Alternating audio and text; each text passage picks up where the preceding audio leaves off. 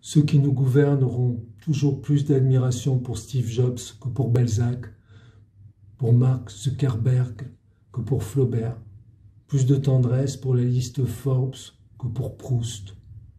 Mais je leur demande instamment de faire preuve d'une bienveillante hypocrisie et d'afficher leur désir de mettre en avant la culture en permettant aux librairies de rouvrir, ainsi qu'au théâtre, au cinéma, aux musées et aux galeries de peinture.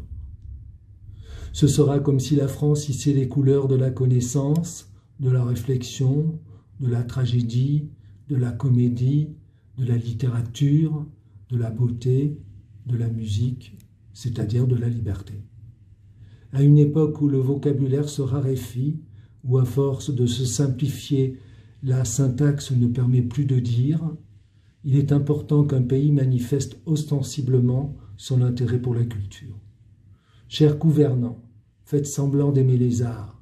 Ce mensonge est si beau que vous en serez fiers tout le reste de votre vie.